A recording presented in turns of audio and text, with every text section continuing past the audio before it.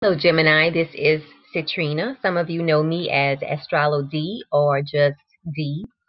Now, I am doing a video to give you a message for the partial solar eclipse. Also, I want to mention that today is August 8th as I'm filming this, and today we have an aspect where the energy of it is that everyone will feel like everything has to be done now. So remember, everything in moderation, okay? The um what's going on is that the sun is in a square to Jupiter and under that influence a lot of people will feel like they have to do everything now like it has to be done yesterday okay? So just remember everything in moderation okay? Now let me get into your message Gemini. Let's see what is the message for Gemini?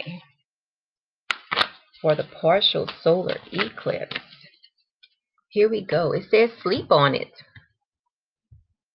Okay, Gemini, this is your message. Sleep on it.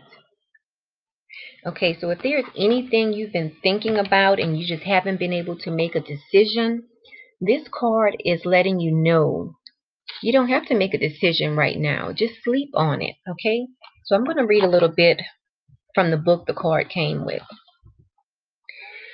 Okay. It says, when your emotions get stirred up and work overtime, they block access to your higher awareness. Okay? At times like this, do not struggle for answers. Instead, step away from the problem and literally put your worries to bed. Okay? So that's your message, Gemini. Put your worries to bed. Okay? Now, um, you can contact me for a reading. I do uh, short readings that are only $7.77, and I also do in-depth readings and year-ahead readings, as well as astrology readings.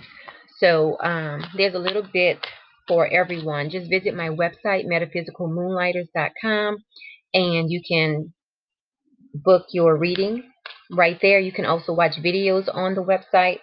Um, so again, this has been video for Gemini for the partial solar eclipse. And until next time, Gemini, remember, sleep on it.